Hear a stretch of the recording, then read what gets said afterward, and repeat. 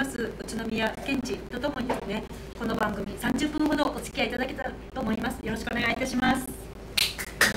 はい。でですねえっ、ー、と自己紹介してもらっていいですか？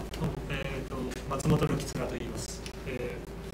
ー、高円寺で、えー、暮らしています。今日はなんかこういう会に呼んでいただきありがとうございます、はい。今日の駅前の会社で一緒に、一緒にやってくれて、一緒に喋ってくれます。あ、違います。で、ここはですね、もうラフに。で、えっ、と、今日は、あの、本当は高円寺の凱旋で、宇多さんが。皆さん、ね、待てど暮らせど、それは現地来ないということで。あの、大変申し訳ありませんでした。本当だったらですよ、宇都宮さんに皆さん質問して、なんかそれを答えるとか、そういう場面の人たちって。集会でですね。ですよね。ですよ。だからここで思いっきり質問を今からぶつけていただければと思います。よろしくお願いします。で、この後の進行は、まあ、松本さんのできればあの私たち市民から見たまあ、その町の再開発の問題とか、うん、それからあと東京都が、まあ、進めようとしている道路の問題とか、道路計画とか、まあ、そこら辺のその暮らしに関わる、えーと、公共事業の話、それからもう一つは今あの高円寺でも飲食店の、ね、でお困りの方とか、うん、暮らしにあの非常に困っている人たちいっぱいいますよね、うん、そこら辺のその今の現状をちょっとご紹介いただけると幸いです。ではよろしくお願いします。じゃあもう適当にじゃあいやいやいや本当なんかいや今回とりあえずお久しぶりでどうもどうも応援しております。であのやっぱりその、まあ、今回やっぱり宇都宮さん応援しようかなと思ったのもやっぱりその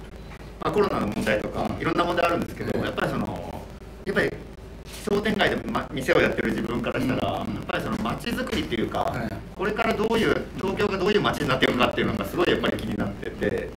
で、まあ、コロナとか経済とかって言っちゃえばもう結構その場しのぎの問題じゃないですか、もっと長期で考えた時には本当に街の問題が大事だと思うんですけどそこで高円寺ってあの再開発の問題あるんですよ。あのまあ、南口にある大通りをそのまま北口にバーンって通してそれは結構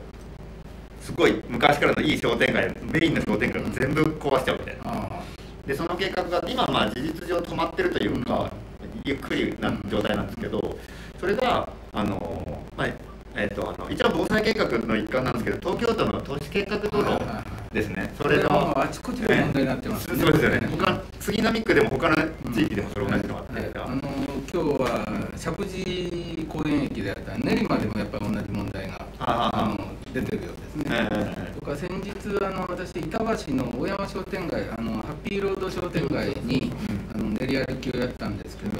そこの商店街は相当昔からある伝統的な商店街ですけど、今度そこの商店街3つに分断する都市計画で道路が予定されてる。真ん中に道路ができるってことですかそう。そう。だからその商店街の人は反対してるんですけど、どもそういう計画道路は60年とか70年昔に決められたことが、えー、今突然浮上して、えー、あの問題になってそれで実はそこだけじゃなくてあの示された後私小金井のですねあのハケと野川っていう、えー、それをあの非常に緑と自然のところがあるんでそれも分断するような都市計画道路が予定されてて市民運動でみんな反対して小金井の市議会が反対の決議をしてるのに容赦なく進めようとしてるということとそれから小平の方も中央公園で雑木林があるんです、そこはあの子どもたちの遊び場だし、い。ろんなあの地域の人のイベントをやる場所だって、であのクヌギクヌギの木がね、立派なクヌギがたくさん、あの立ってて、非常に私は田舎者だから、そういうところに行くとほっとするんですけど、そこの公園を真っ二つに分断するような道路が予定されてる。だからこの道路計画っていうのはあちこちですね。なんかあれ何なんでしょうねだって、うん、多分東京のそのまあ防災っていう名目じゃないですか、うんはい、でその時にやっぱその道路巨大な道路で分断しないでも、でも結構もう江戸江戸時代のなんか江戸の大火みたいなのを想定してるんですよね、こうもう全部木造住宅でもう超狭い道みたいな。あんなの今違うじゃないですか。それに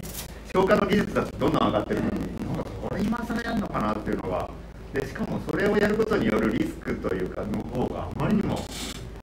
マイナス点でかえってそういうことままず巨巨大な予算がかかるんですね、巨額の。外環道という道路計画は全部完成すると3兆2000億かかって、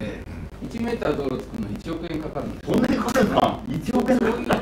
それをかけてやるその意味っていうのは本当にどうなのかということと住民の多くが反対してるのにここに耳を傾けない道路行政っていうのは非常に地方自治というのはまあ民主主義の学校と言われるじゃないですか、うん、民主主義っていう観点から見ても市議会も決議してみんな反対してるのにそれを強引に押しつぶしてどうするなんていうのは、ちょっと私としては問題が多いなということであちこちやっぱ同じようなやっぱり地域、えー、住民の人が反対してる人が多いんですね。であの例えば高円寺のその再開発計画に関しても一応、まあ、東京都の都市計画道路で決まったんですけど、うん、実際に施行するのは杉並区にも権利が移ってるんですよ。うん、で、まあ、計画自体は東京都なんですけど、うん、杉並区が決めたら進められるみたいな、もう、まあ、逆に言うと、まあ、東京都がもう区にも任せてるみたいな、もうやってみたいな。じゃあ、区がノーって言ったら止められる今のところはそうなんですよ。だから区が今のところはそのやるって、やっぱり踏み切ってない、なんか中途半端とかですよ。でも一応動いてはいないけどやることにはなってるみたいな。ででそれをやっぱり言うといやこれも東京都で決まってることだからうちらには変えられないんだみたいなことを区は言うんですよ。それを都がちゃんとそういうのはいや。それはもうちゃんといらないものはいらないかもしれないじゃんっていうのを言ってくれたら区も変わるんですよね。で都都がもうそこはもう無責任にこう全部でも昔決まったからそれはもう知らないよ、やっちゃうと区はやんなきゃいけないというかいや都で決まってるからみたいななな都でやっぱその辺をちゃんと区に丸投げしてるやつもちゃんとこうやってくれたらすごいありがたいなと思ってて、多分宇都宮さん多分そういうことを言,、言ってらっしゃったんで、政策一番かなり重要な政策の一つにね、計画を見直すということを入れてるんですけど、一、箇所だけなんてあちこち同じことが、あの計画されてるんですね。これやって全部後でやってます。あれとかどうでしたか、例えば。あの東京でね、こういうあの私あの江東区に住んでるんですけど、そういうあの本当まず下町らしい、ね、あの親しみやすいところが、その高円寺ってどちらかといえばこちらの方はもうあのあの江東区とか足立は下町で、こちらの方は若干高級な、あの住宅地が多いかなと思ったら、高円寺高円寺のど真ん中でね、ああいうことをやられてるっていうの。は、しかもそれが延々と続いてるということはね、素晴らしいなと思ってるんですよね。だからこのあの商店街というのは独特の雰囲気がありますね。いつ来ても。でも高知って割と全体そうですよね。そういうまあ他の阿佐ヶ谷とかね、そういうところもそうですけど、高円寺は本当特こういうもう全